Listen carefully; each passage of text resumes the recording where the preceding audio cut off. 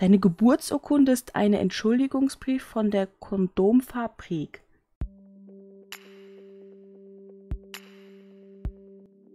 Ich heiße dich wieder ganz herzlich willkommen zur 42. Folge. Wie du siehst, stehen wir vor einem anderen Haus. Nein, nicht zu früh freuen, es ist nicht das Haus, wo wir später einziehen werden. Das wäre jetzt ein bisschen zu früh gewesen. Ja, wir sind nämlich in Urlaub gefahren nach Granite Falls. Ich hoffe, der Name ist so korrekt ausgesprochen. Wir machen zwei Tage Urlaub. Genau. Ich habe es für zwei Tage, jetzt den Samstag und den Sonntag gebucht. Eventuell bleiben wir vielleicht den Montag noch mal gucken. Ich weiß es noch nicht. Wie es den beiden, den drei eher gesagt, Spaß macht. Wir haben ja immerhin auch unseren Shiny Boy dabei. Ich würde sagen, wir machen uns alle mal in eine Runde. Dass wir nicht weglaufen. Und ich wollte euch jetzt mal kurz die Unterkunft zeigen, weil ich hatte ja auf Instagram schon ähm, letztens ein Bild gezeigt.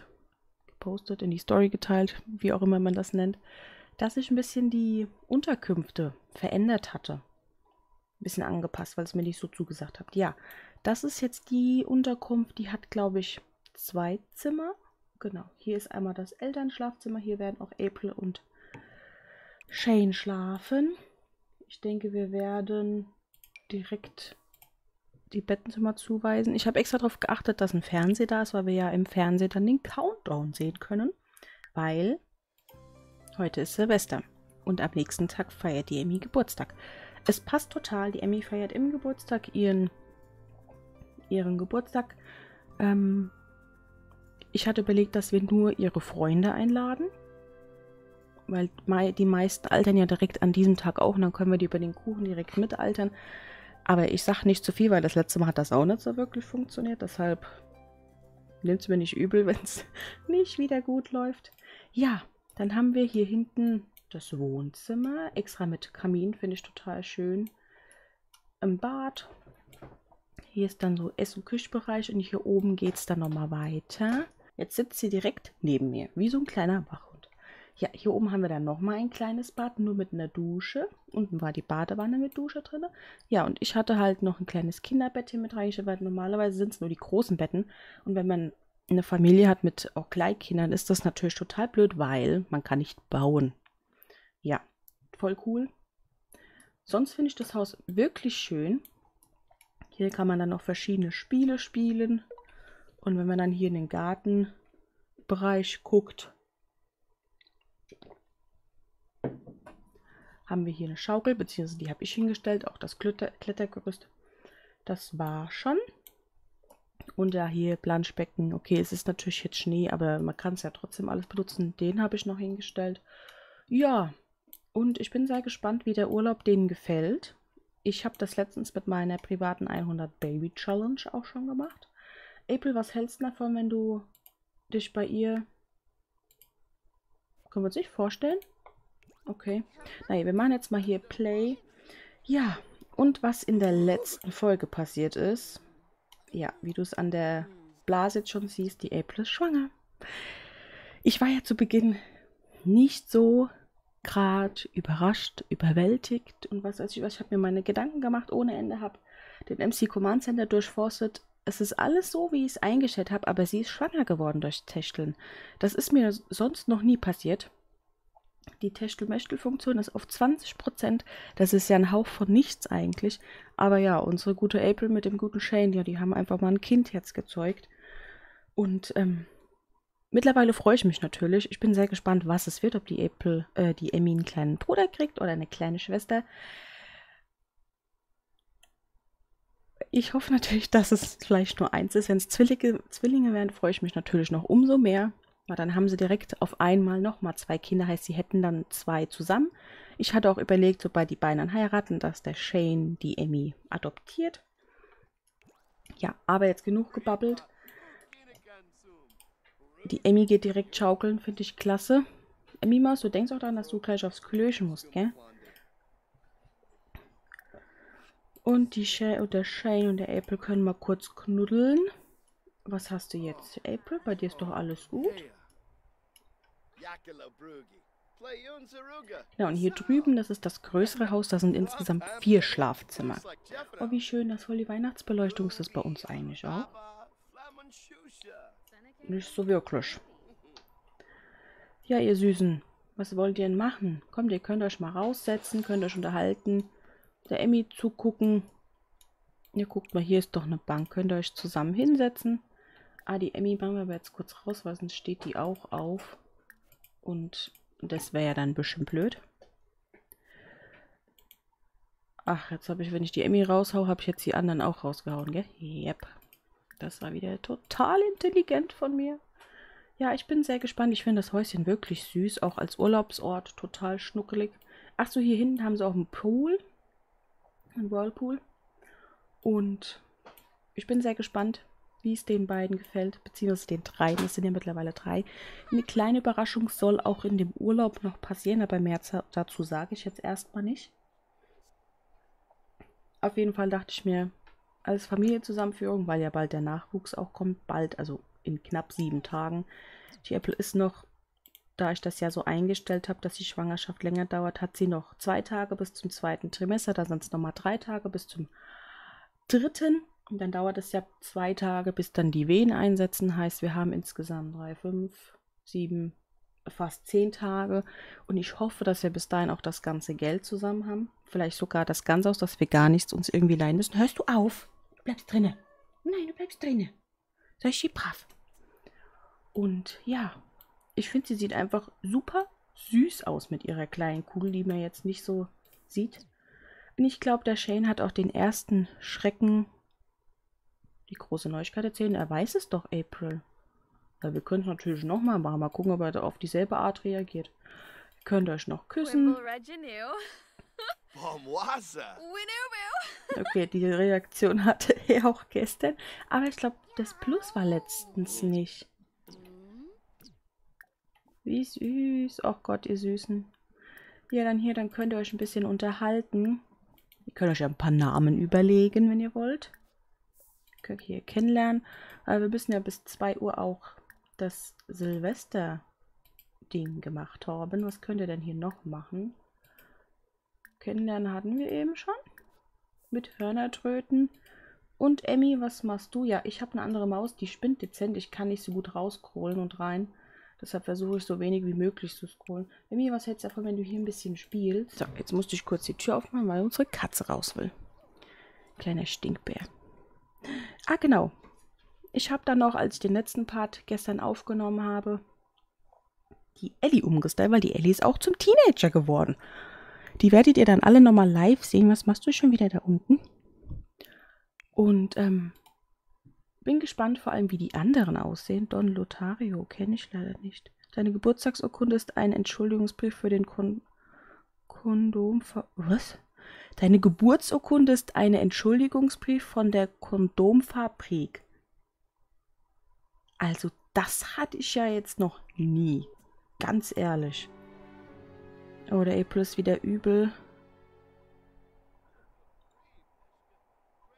Ja, aus meinem Gehirn löschen, das, das würde ich auch wollen, April. Partystimmung. Haben wir ein Radio? Ich habe ja der April ein paar Sachen ins Inventar gepackt. Damit wir nicht so vollkommen ohne irgendwas reisen. Sein Radio habe ich zum Beispiel auch mitgenommen. Ich habe an alles gedacht. So, das können wir hier hin machen. Ja, April, willst du mal den Kamin anzünden? Machst du den jetzt an? Anzünden, perfekt. Ja, und dann kannst du den Radio auch noch einschalten. Ähm, du kannst... Komm, mal, Winterzauber machen wir an. Kamin ist an. April ist leider übel. April. Ich bin nicht so der Freund davon, aber wenn die sich meistens übergeben, geht es denen dann eigentlich besser. Sie müssen zwar dann immer das Klöchen putzen, genau, das sind die ganzen Packs, die wir gestern noch gekriegt haben am Kindertag. Eine ganze Menge. Ich hoffe nur, dass der Shane jetzt nicht einfach abhaut. Ah ne, der hat sich gerade Würstchen gemacht. So, April, jetzt musst du aber das Klöchen sauber machen. Wir haben einige Pflanzen gekriegt. Wieso kannst du das Klo nicht sauber machen? Ah ne, nicht übergeben. Hä? April? Wieso kann sie das Klo jetzt nicht sauber machen? Du sollst sauber machen. Supi, eine Toilette weniger. Amy, da würde ich mich jetzt nicht draufsetzen, bitte. Nicht. Das ist, das ist echt ein bisschen eklig. Guck mal, hier oben haben wir doch auch noch ein Bad. Dann darf die Apple halt sich nicht mehr übergeben. So leid mir es tut. Und dann...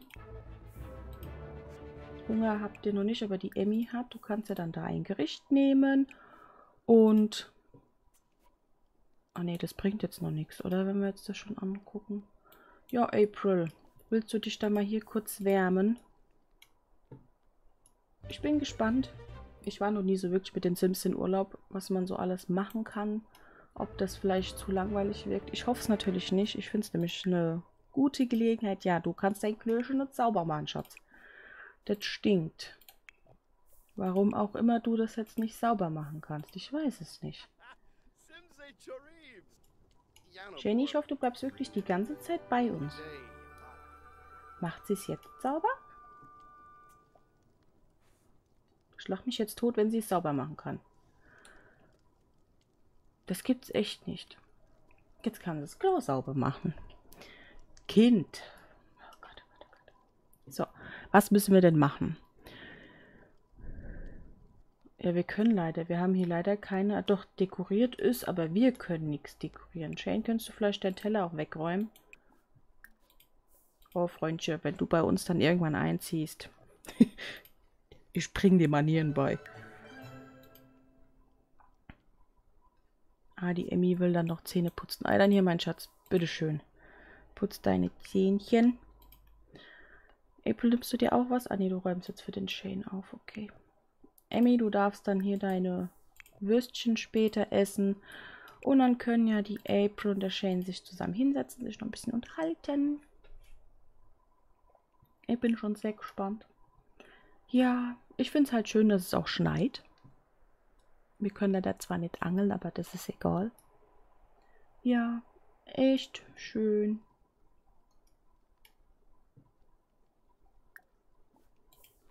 Und Shane, ihr könnt tratschen, dass die April ein bisschen was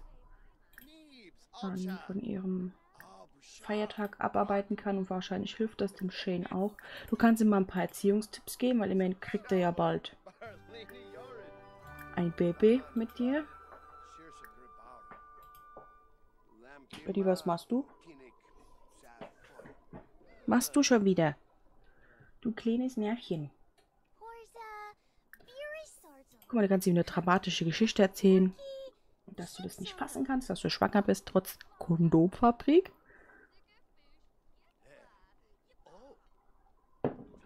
Was ich auch nicht verstehe, wieso die April so leise ist. Geh mal so hin. Och, das sieht doch einfach schön aus, oder?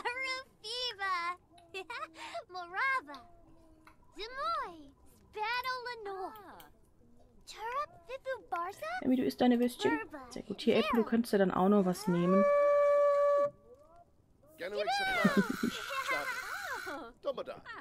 Sehr gut. April, kannst du das auch?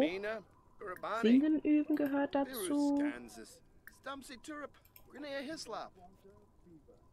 Ja, ihr könnt dann auch gleich mal eure Vorsätze feiern. Shane, können wir bei dir irgendwie auch was tippen, dass du was machst? Ah, das ist nur die Interaktion, okay. Dann kann die Emmy mal überlegen. Sie kann erstmal singen üben. Uh, hallo Maus, danke.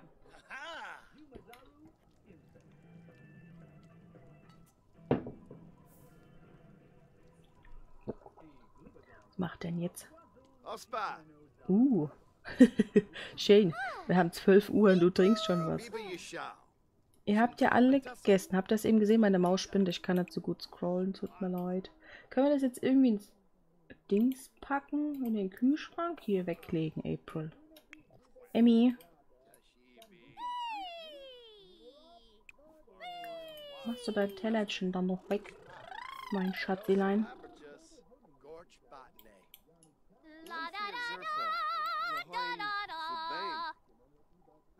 Das habe ich das letzte Mal schon gesagt. Die Emmy kann voll gut singen. Ich bin ja so gespannt, wenn die morgen altert, wie die als Teen aussieht. Es ist ja morgen schon. Ich bin so aufgeregt und bin. Ich, ich,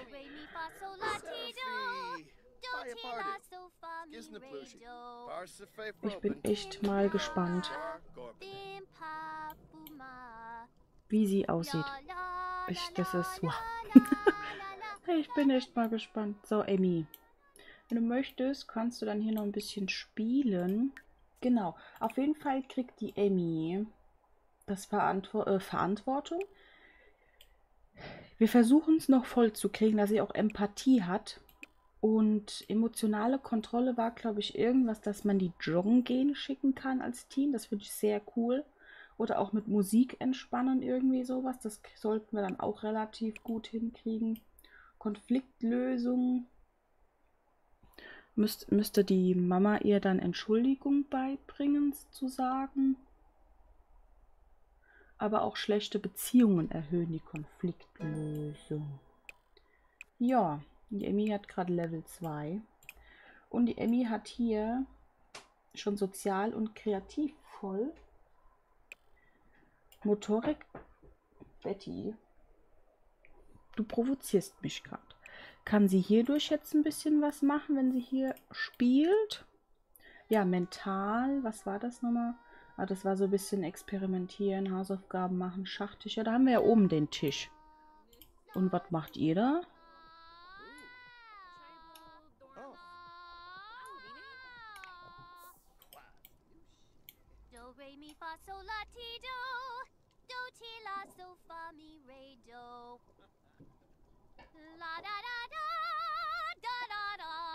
Gut, Emmy. Du hast genug gesungen. Könnt ihr zusammen tanzen? Ja, komm, tanzt mal ein bisschen. Dann habt ihr vielleicht das erste schon abgeschlossen. Die Emmy darf ein bisschen klettern. Die zwei Tanzbolde. Hm. Piu, sie hat es geschafft. Sehr gut. Vorsätze fassen, das kriegen wir ja dann hin. Abends gucken wir dann noch. Ja, dekorieren kriegen wir leider nicht hin. Weil wir haben nicht so eine Box. Das habe ich vergessen, als ich zuvor ähm, ja hier ein bisschen umgeräumt habe und so. Da darf die Emmy drin schlafen. Ach, April, ich bin ja so gespannt. Was für Babys und vor allem wie viele, was es wird und ach, was weiß ich, was alles. Wow, April, du gehst ja voll ab. Oh, Shani Boy auch.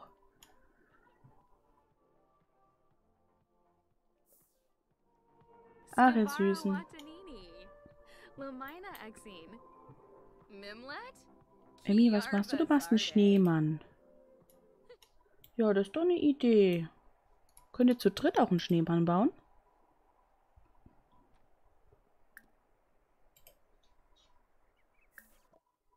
Schneemann bauen mit. Okay, man kann es nur zu zweit. Schade. Aber nicht schlimm. Dann kann die Emmy doch hier ihren eigenen Schneemann bauen. Ja, also mir gefällt es bisher. Dann können die drei hier noch ein bisschen spielen. Ich hoffe, der April geht es gut. Leider habe ich jetzt die Yogamatte vergessen. Aber ist halt so. Ich kann nicht an alles denken. Der Ikaya schreibt gerade, ich habe gerade eine Wette abgeschlossen und der Verlierer muss dir Geld geben. Ah, der Shane danst noch und die Apple macht jetzt hier allein ihren Schneemann. Ah, ihr süßen Mädels, dann mach halt von euch ein Foto. Uh, und sie hält sich gerade im Bauch. Ui, ui, ui, ui. Da hat sie auch letztens ein Moodlet gehabt, dass sie den Babykick gespürt hat. Das kommt, glaube ich, alles durch den Slice of Life. Ich vermute es, ich weiß es nicht, ich gebe keine Garantie darauf. Aber ich finde das so süß. Und da gibt es auch noch verschiedene andere Sachen, die sie dann da spürt.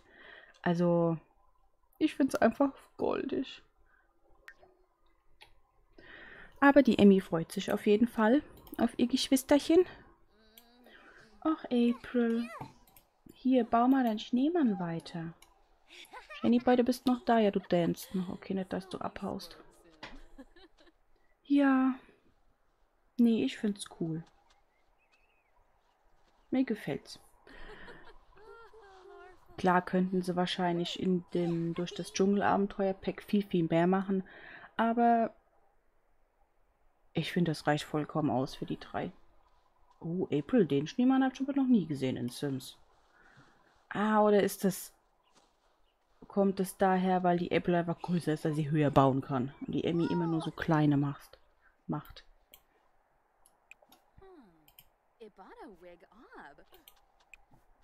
Was heißt denn bestäuben? Heißt es dann pinkeln gehen? Oh, geil, April. Was hast du dem denn angezogen?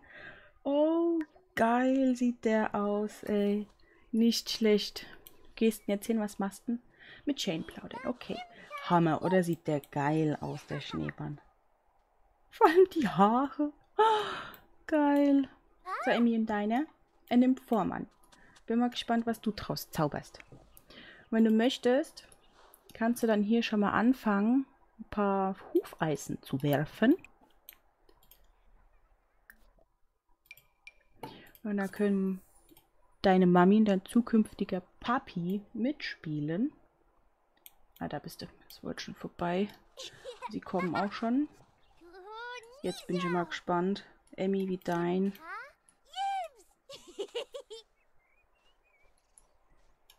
Ja. Okay, es liegt eindeutig daran, dass die Emmy ein kleines Kind ist, aber ich finde, er sieht geil aus, weil mit seinen Handschuhen, mit seinen Tomaten als Augen, mit dem Blümchen und dem Kochlöffel als Mund. Sehr cool. Und April, triffst du? Halb. Fast, aber man sagt ja immer, knapp daneben ist trotzdem daneben, aber es kommt schon nah ran. Oh, jetzt kommt der Shane dran. Und trifft er? Uh, fast Shane. Fast? Hey, wieso machst du jetzt zweimal die April auch zweimal schon gemacht? Jetzt singt die April auch gut. Komm rein.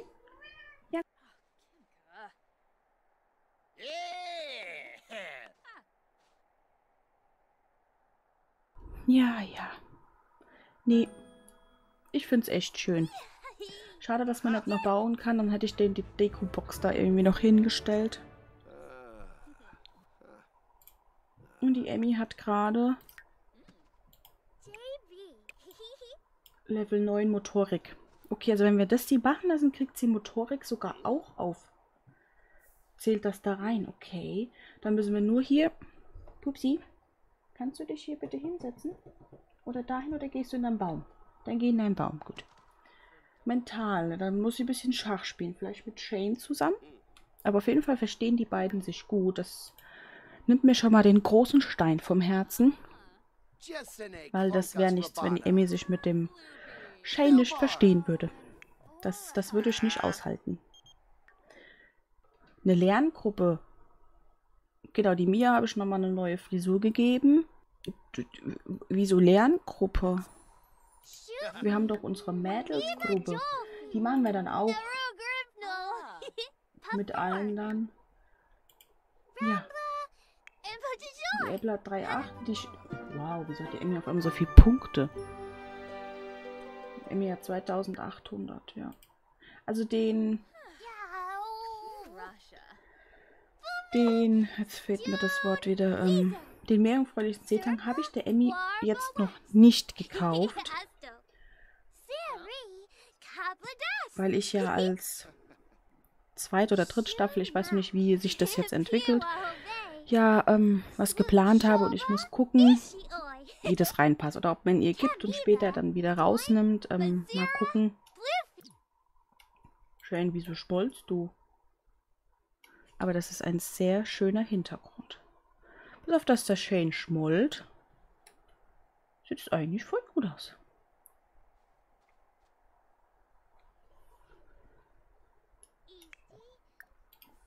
Gib mal deinen Schatz einen Kuss. Da kannst du fragen, was los ist. Ihm ist unwohl. Musst du vielleicht pieseln? Ja, du musst pieseln. Ah, dann geh doch pieseln. Los. Hält dich doch keiner hier fest.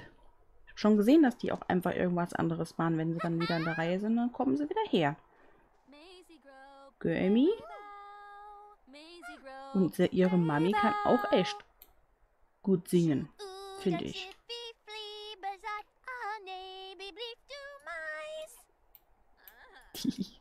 Ach, Amy, ich bin ja so gespannt, wie du als Teenie aussiehst. Vor allem habe ich noch... Shane, warst du jetzt auf Klo? Oder was hast du jetzt gemacht?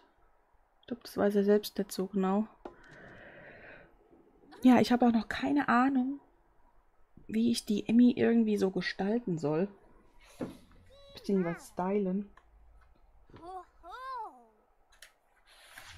Auf jeden Fall habe ich mir mal letztens die ganzen Regeln rausgesucht und bin die mal durchgegangen. Und wir haben alles eingehalten. Jetzt muss ich die Klammer kurz abmachen, wenn die hier weiterspielen. Und Ziel ist es ja, dass dein Kind eine glückliche, fürsorgliche und liebevolle Kindheit und Erziehung genießt. Wir haben den, Noten, äh, den Schulabschluss mit Note 1 absolviert. Sie hat schon, finde ich, die große Liebe gefunden und wir sind eine Familie gründen. Also eigentlich haben wir die Challenge. Ich kann doch mal jetzt hier so grob, grob überfliegen. Wir haben nicht wirklich Aufmerksamkeit auf uns aufgezogen. Wir haben erst mit 5000 Simoleons gebaut. Mit Erwachsenen haben wir, glaube ich, gar nicht gesprochen, wenn ich mich erinnere. Wir haben keinen Job bis zum jungen Erwachsenenalter angenommen. Wir haben nur durch Garten, Malen, durch die Werkbank unser Geld verdient. Wir sind immer zur Schule gegangen. Hausaufgaben, hm, wir mal, haben wir immer so, so 70, 80 Prozent immer nur erledigen können. Wir haben das kleine Emilein zu Hause gekriegt. Das Bettchen haben wir gekauft. Ähm, wir haben sie nie vor ihrem Geburtstag altern lassen. Die beiden haben voll ihren Spaß. Ah, die Emmy, die April geht jetzt duschen. Ich lasse die jetzt mal kurz ihr eigenes Ding machen. Nur müssen wir dann auch langsam mal anfangen, dass die sich was zu Abendessen machen. Und so, dass die dann auch mal hier ihre Silvester-Gedöns abschließen. Freundschaften hatten wir. Shane zieht nicht ein, ohne dass Emmy vernachlässigt wird. Also in meinen Augen haben wir alle Regeln eigentlich befolgt. Kannst mir dazu deine Meinung nochmal sagen. Aber in meiner Sicht gab es keine gravierenden Regelverstöße eigentlich. So, Emmy, was guckst du dir denn im Fernsehen an? Silvester TV schauen. Ah ja, okay, dann guckst du schon mal Silvester TV. Wenn die April dann gebadet hat, darf unsere gute April was zu essen machen. Machen wir ein schönes Festessen. Wo ist denn der Herd? Ach, hier ist der Herd. Festmahl kochen. Oh, wir hatten letztens Truthahn. Ich möchte nicht schon wieder dasselbe irgendwie kochen. Ich bin absolut kein Fischfan. Vielleicht machen wir das Schinkenfestmahl. Ray schreibt, wieso habt ihr alle eure Weihnachtssachen an? Hey, hast du Lust, etwas zu trinken? Ray, ich bin schwanger. Das geht nicht. Ein Tapetelwechsel und ein Gespräch unter vier Augen würde mir echt gut tun. Das, das kann ich dir voll und ganz nachvollziehen und dir abkaufen. Aber ähm, wir wollen unsere Zweisamkeit an Silvester, beziehungsweise unsere Familienzeit an Silvester. Wieso kannst du nicht kochen? Komm hierher, mein Schatz. Los, du kleiner Babybauch. Oh mein Gott, ihr Bauch ist so dick. Ihr Bauch ist so dick. April. Zweites Trimester in 15 Stunden. Babymama. April, April. Deine Bauchleine ist so dick. So, mein Schatz, kannst du jetzt hierher kommen? Und sie hält sich wieder ihr Bäuchlein. Und jetzt sollst du hier bitte ein Festmahl machen. Das sollte eigentlich gehen. Ah, jetzt. Hä, wie sie... Verstehe ich nicht. Liegt es daran, dass die vielleicht am Weg irgendwie was hat? Ich verstehe es nicht. Auf jeden Fall macht Baby Mama jetzt was zu essen. Unser Shany Boy ist bis jetzt noch da, was ein Glück. Ja, Vorsätze können wir dann nach dem Essen fassen. Dann gucken wir uns zusammen die Silvester-TV-Schau an und dann dürfen die auch schon schlafen. Und dann ist Silvester auch schon vorbei. Aber ich wollte jetzt mal hier gucken, ähm, ob die April auch alle kennt überhaupt. Damit wir dann morgen die Party steigen lassen können.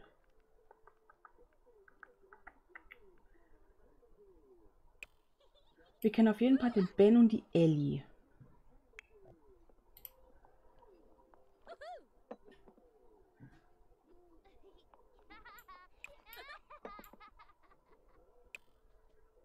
Yuki und Leo sind hier, okay. Oh Gott, jetzt ist natürlich die Frage, wie wir das machen, dass wir die anderen einladen. Ich würde die einfach wieder dazu einladen. Heißt, die Emmy ruft dann den Leo und die Yuki her und die Mama April macht dann die anderen zwei.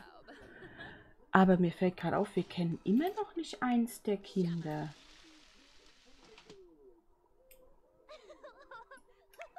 Mama April, wo hast du das Essen hingemacht? Ah, du hast was drüber gekippt, okay. Uh, April. Was machst du denn da? Wir kennen den Lexus noch gar nicht. Ja. April, pass bitte mit deinem Bauch auf. Gibt's ja nicht. Du brauchst keine Kunststückchen zu, vollführen. Zu vollführen. Wie sieht das macht? Ach, April. Du wirst, ja, das ist, es gibt die positiven Stimmungsschwankungen und die negativen. Und die Apple dachte gerade, hm, sie wird eine schlechte Mami. Bringst du es jetzt dahinter?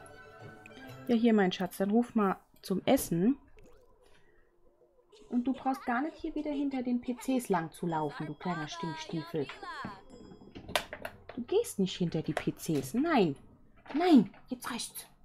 Dich jetzt hin. Bus. Jetzt sei brav. Die PCs, die geben halt immer eine schöne Wärme ab. So wie mein Laptop war, da hat sie sich immer auf den Laptop gelegt. Das ist eine ziemliche Sache.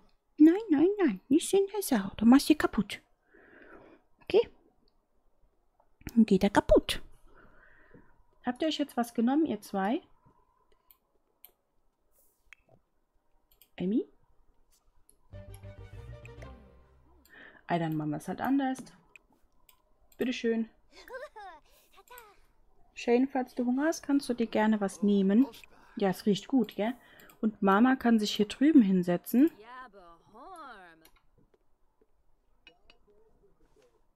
Oh ne, stopp. Okay, wenn sie jetzt hier alle rüberkommen, dann kannst du hier auch essen, mein Mart. Das geht dann auch hier. Shady Boy, kommst du auch? Du kannst gern dich hier zu uns setzen und mit uns essen. Du musst aber nicht, also ich zwinge keinen. Wie können wir, können wir hier die Kerzen anmachen? Nein, können wir nicht. Gut, dann hätte ich gesagt, darf die Emmy im Anschluss einmal Doktor spielen. Oh, April, pass auf. Ja. Ich gucke hier alles schon auf den Timer. Allzu viel Zeit haben wir nicht mehr. Deshalb spule ich jetzt mal, dass die beiden Süßen ein bisschen schneller essen.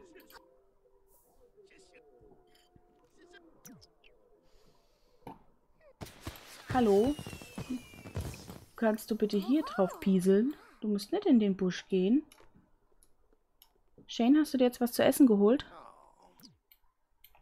Oh mein Gott, wie süß. Och, wie süß. Und ich muss sagen, durch das 1-2 Yoga machen, was die April jetzt gemacht hat, finde ich, hat sie schon ein bisschen abgenommen. Ich darf nur, ich muss nur aufpassen, dass sie es nicht zu exzessiv macht. Dass es, ja, weil ich möchte nicht, dass sie zu muskulös ist. Es soll einfach sein, dass sie ein bisschen was für die Gesundheit macht. Dass es nicht zu krass ist. So, April geht pieseln. Wo haben wir den Mülleimer hin? Na, da drüben. Dann räume ich jetzt mal für euch auf. Ist immerhin Silvester. Dann dürfte das. Ja, und dann machen wir die Emmy jetzt in die Gruppe wieder hinzu. Und dann könnt ihr alle... verdammt. Verdammt, ich Idiote. Hier, Silvester TV schauen. April, es wird nicht gepieselt. Ganz schnell hierher kommen. Wir haben schon nach 0 Uhr. Wir haben nach 0 Uhr. Los, schnell, schnell, schnell, schnell, schnell, schnell, schnell, schnell. Los jetzt. Kommt hierher. Los. Emmy, nein. Zusammen Kanal schauen. Zack, zack jetzt. Ey, das ist. Das Silvester ist grauenhaft, muss ich sagen, ey. April! Los. Ich hoffe, dass das jetzt noch zählt, auch wenn wir schon 1 Uhr haben. Ich glaub's zwar nicht. Ja gut, Emmy, dann fest du jetzt mal hier deine Vorsätze. Wo ist es? Vorsatz fassen. Oh, okay. Also wir können nur Schließe innerhalb von sieben Tagen den Meilenstein eines gewählten Bestrebens ab, um diesen Vorsatz umzusetzen. Mein Problem ist jetzt, ich weiß nicht, was mit Meilenstein bedeutet, ob man nur eins diese Aufgaben machen muss oder ob man das Ganze, es gibt ja meistens so drei bis vier Kapitel, Moment, ich muss die Tür aufmachen, dass ähm, das damit gemeint ist, dass sie eins dieser Kapitel abschließt oder wir nehmen das vielleicht, verbessere innerhalb von sieben Tagen eine beliebige Fähigkeit, um den Vorsatz umzusetzen. Ich glaube, wir nehmen das. Das wäre nämlich eh für Emmys Interesse eher, glaube ich, gedacht, weil Motorik hat sie fast. Ich glaube, wir nehmen das hier für die Emmy. Apriline, jetzt darfst du dir deinen Vorsatz noch nehmen. Wo ist es bei dir hier? Vorsatz fassen? Okay, die April hat eine ganze Menge. Bestreben, abschließen. Oder weiß ich nicht. Ich habe bei der April leider nicht reingeguckt und weiß leider nicht. Ein Buch schreiben, äh, schreiben, auch eine Fähigkeit verbessern. Partner finden hat sie. Abnehmen. Ja, oder wir nehmen das. Dass sie immer ein bisschen Sport macht. Ich hoffe, dass das dann damit reinzählt. Hat es jetzt geklappt? Ich mache auf jeden Fall jetzt mal, dass die Vorsatz gefasst. Okay, aber das haben sie jetzt leider nicht geschafft. Okay, nicht schlimm. Dann darf die Emmy jetzt noch auf Toilette.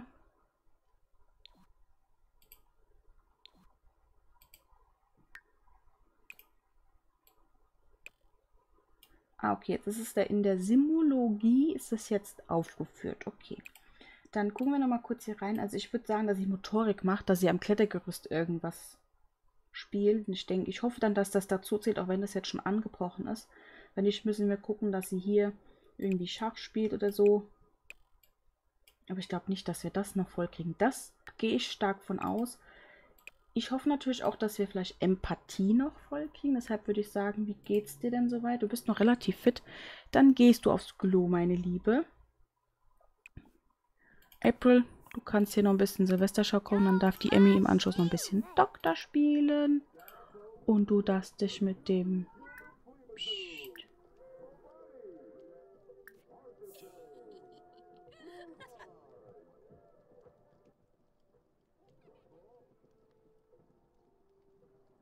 Oh, Shane ist schon eingeschlafen. Aber Shane, leg dich doch ins Bett. Du kannst dich doch da hinlegen. Langsam. Langsam. Gut.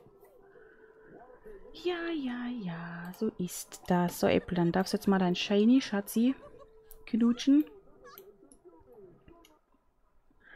Schreib mir gern mal in die Kommentare, ob bei deinen Sims, wobei, okay, jetzt sieht er nicht mehr so dick aus, aber sie hat schon eine kleine Kugel, definitiv aber ihr steht der Bauch wirklich. Ob bei euren Sims auch die Bäuche so dick sind? Ich meine, die waren nicht so dick vorher.